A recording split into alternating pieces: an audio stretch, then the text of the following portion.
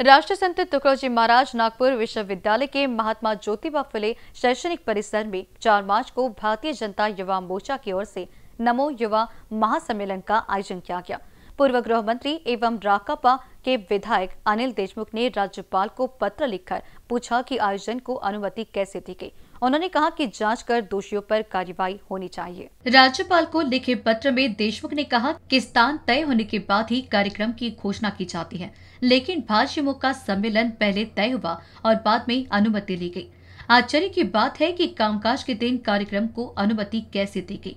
महात्मा ज्योतिबा फुले विवि का मुख्य शैक्षणिक परिसर है। इसी परिसर में विश्वविद्यालय का मुख्य कार्यालय प्रशासनिक है। कुलगुरु, प्रकुलगुरु, कुल सचिव का भी कार्यालय यहाँ पर है।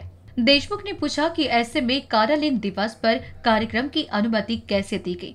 उन्होंने कहा कि जमनालाल बजाज प्रशासनिक इमारत परिसर शान सोने फिर भी यहाँ नारेबाजी की गई। कैमरा पर्सन राजकुमार मोहर के साथ अभिषेक पांसी की रिपोर्ट।